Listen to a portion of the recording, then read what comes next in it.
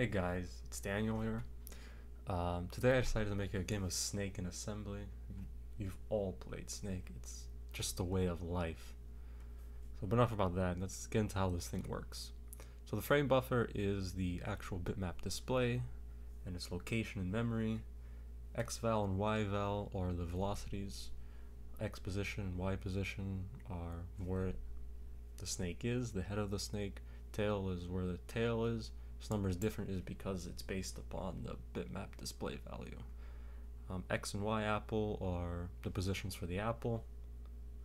And then we have four variables here called snake up, down, left, right. These are all green and they're going to be used to paint the snake.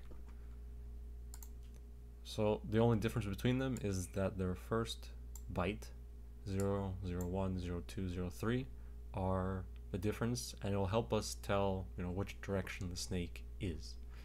Then we have some constant variables, x conversion, y conversion, because we need to convert the x position to a bitmap display value that our assembly program can read. Alright, so now to get into the program. We start off by drawing the background gray, and then we draw the walls around it. They're going to be black walls, top, bottom, left, right. Then we get to our actual game function. You know, most games have loops. They run with a loop, and the only time you exit the loop is when you want to quit the game. Same thing here. So the first thing we do is we uh, read the input from the user, and then we have a sleep function. So this sleep function is what controls our frame rate. Uh, for Snake, we usually have a general, generally lower frame rate, so I decided to make it about 15. Can make it less, can make it faster. It's up to everyone. And then once we see what the key press is, we decide where to go. So if W, we move up, S, we move down, and so on. So these functions move up, move down, they're practically all the same. The only difference is, is that they load either snake up, snake down,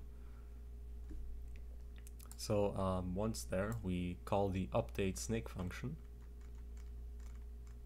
just down here. So in the update snake function, we first draw the head. Um, we have to convert the XY position, as I said before, to bitmap values. And once we get our bitmap value, then we can store the green color and direction of the snake onto our bitmap display. Next, we set the velocity and this also depends on the whether the snake's going up, down, left, or right, and we set the velocities accordingly. Uh, once we've set the velocities, we have to do some head checks to make sure, you know, we haven't run into a wall ourselves or an apple. So if we run into an apple, we then will spawn a new apple, draw it, and exit the function. Exit the loop so that it can restart.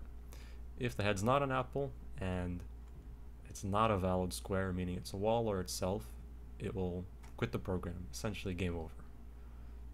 If it is valid, then we have to remove the tail, because we make a new head, but we have to remove the tail from the behind. That's how Snake works. So, we replace the tail with a background color. And we have to update the tail so that we get the next tail which is also used by using snake up, snake down, depending on that.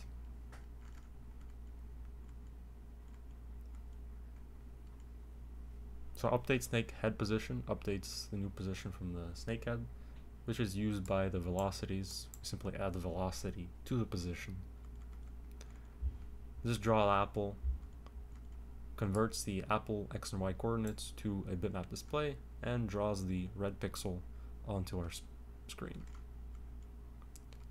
And the new apple location, once we pick up an apple, is using syscall 42, which is a random int generator. It's a value between 0 and 63 as our upper bound, as it's 64 pixels wide. And then we do another conversion so that we can store it on the right place. Alright, enough of that, you know, majority here are here to actually see the gameplay. So let's open up our bitmap display. And we'll let's open up our keyboard input. Let's make it smaller. So we need to set it to 8 for both height and width. The rest of the values are fine. Let's connect both of them to our Mars. And let's play.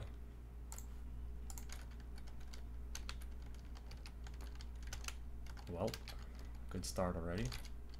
Alright. So as you can see, we slowly start growing as a regular game of Snake.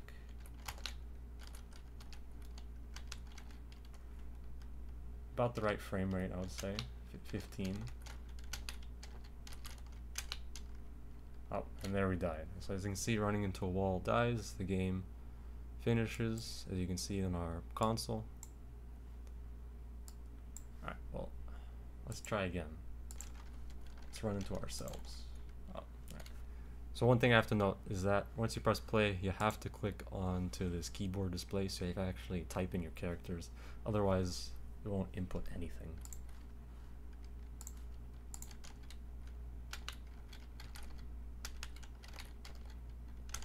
So another weird thing about this Mars, I'd say, is that sometimes Mars freezes up and the game crashes. Uh, I haven't figured out why this happens. It just happens occasionally. Um, sometimes I think it's one potential theory is due to pressing many keys at the same time.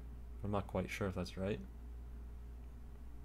Well, anyway, you know, thanks for watching. Make sure to like I'm just kidding. Don't do that. Um, no, but thank you for watching. You know, uh, there'll be a link to the GitHub so you can download it, play it yourself if you feel like it. Alright, see you guys.